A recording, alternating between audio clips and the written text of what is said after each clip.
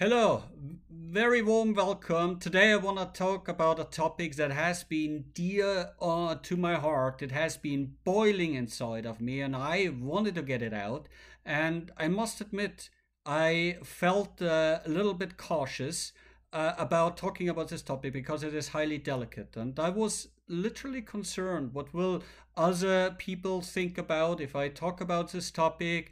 Uh, there is a lot, there are a lot of emotions and a lot of viewpoints on this topic, and it is about the war in the Ukraine. And uh, people probably would advise me and say, Alex, you're an industry expert, you're a healthcare expert. Why do you want to talk about this topic? Why risk it? Why put forward certain views? And my answer is because I care about people.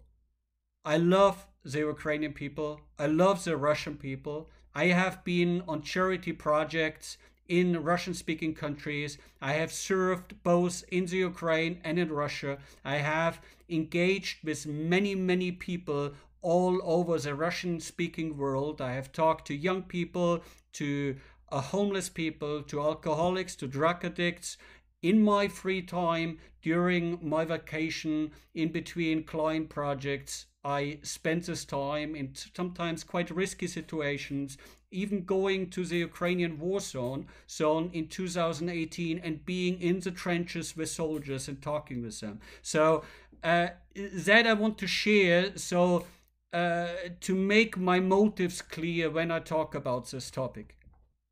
Another topic I want to point out uh, you know, there are so many uh, opinions and informations out about Russia, Ukraine, about the situation, uh, often issued from people who have limited or no understanding, who have never been to this part of the world, and suddenly are advisors to politicians or people who have been reading on information but never understood the Russian soul, the Ukrainian soul. And what do, my, what do I mean by that? I strongly believe is you only understand a person's motives, heart, and character if you spend significant of time engaging with the people, talking with them in numerous situations, understanding not only what they say, but why they say it, how they feel about topics.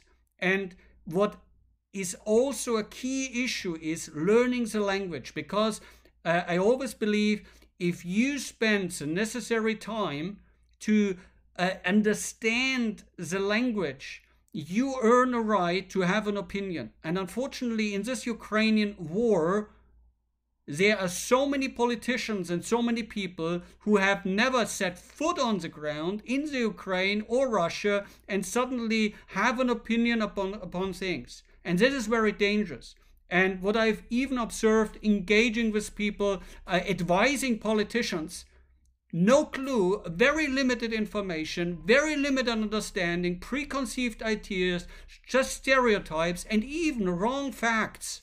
Basic facts that people could read up and could make themselves knowledgeable. So I wanted to spend the time to talk about what are the uh, is what is the situation in the Ukraine and in Russia, and I want to put forward a viewpoint. This war was totally unavoidable and it is a result predominantly due to a lack of basic com uh, communication.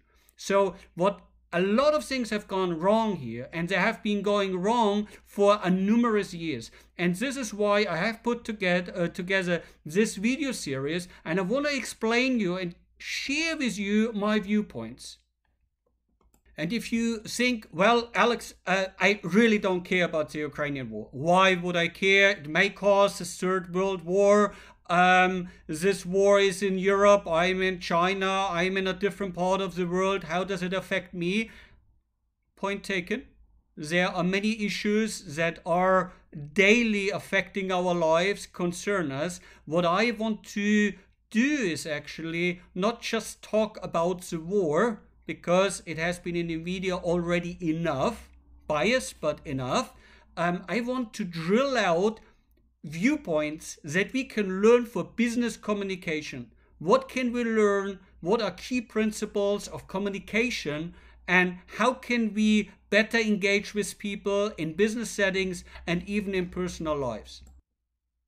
So if that has whet your appetite, so to speak, then I invite you to check out my uh, three other videos on this topic. I've broken it down into three parts and also here I share with you my personal information. So if you want to connect with me through WeChat, through LinkedIn, over 23,000 people on LinkedIn, business professionals, leaders and experts are following me, my thoughts, my viewpoints, then I warmly invite you uh, to connect with me. And if you have any questions on business settings, communications, uh, leadership issues, uh, then reach out to me and let's see how we could potentially work together.